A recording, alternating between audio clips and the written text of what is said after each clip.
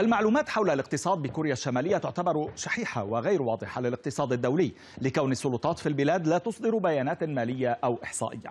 القطاع الصناعي في كوريا الشمالية يعد أبرز المحركين للاقتصاد بكوريا الشمالية حيث تسهم الصناعة بأكثر من نصف الناتج المحلي الإجمالي.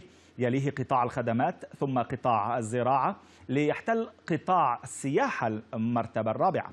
كوريا الشمالية التي تخضع لعقوبات دولية عديدة بسبب برنامجها البالستي والنووي.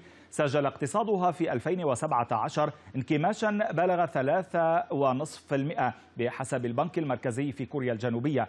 لكن الخبراء في كوريا الشمالية يقولون أن هذا الرقم غير دقيق لأنه لا يعكس النشاط الاقتصادي غير الرسمي. في 2016 تراجعت صناعة التعدين فيها بنسبة 11% كما سجلت الصناعة التحويلية تراجعا بلغ 6.19% فيما تراجع القطاع الزراعي والصيد بنسبة 1% و13 النسبة المئوية. وبالنسبة للتبادلات التجارية فإن أبرز الشركاء التجاريين لبيونغ يانغ هم.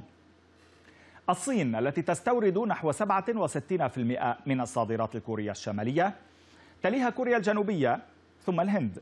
يرى بعض الخبراء أن إزالة العقوبات عن كوريا الشمالية قد ينشط عمليتين أو قد تنشط عمليتين كانتا تدران الملايين من الدولارات.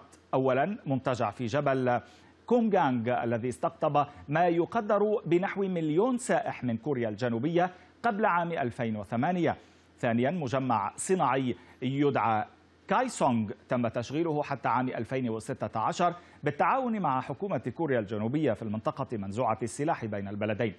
وعن ثروات كوريا الشمالية الطبيعية من المعادن كالحديد والذهب والزنك والنحاس فضلا عن الفحم فتتراوح قيمتها بين 6 و10 تريليونات دولار بحسب دراسات كورية جنوبية.